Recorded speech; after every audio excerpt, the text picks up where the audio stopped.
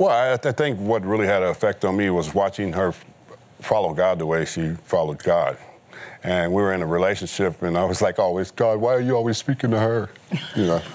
and he said, and you know, God spoke to me clearly one time and says, "Is because she spends time with me."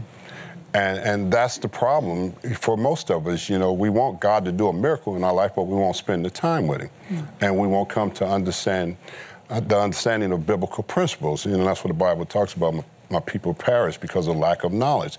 You know, there's no knowledge and understanding of God's word. That's why I was perishing. And I realized it wasn't until I dove in myself and I started hiding out with God, I started turning off the cell phone, turning off the television, and I started spending time in the Word of God. And that's when I started uh, to get to the place of understanding who God was for myself. Because if we don't ever take that time to uh, lay with God, you'll never know Him. Mm-hmm. I mean, He's so good, you know, and that's the thing I want to tell people, oh, you got to taste and see that the Lord is good, not all these things, you know. I had everything from a worldly standpoint. It never satisfied my soul. Mm-hmm. The only thing that satisfied my soul today is Jesus himself.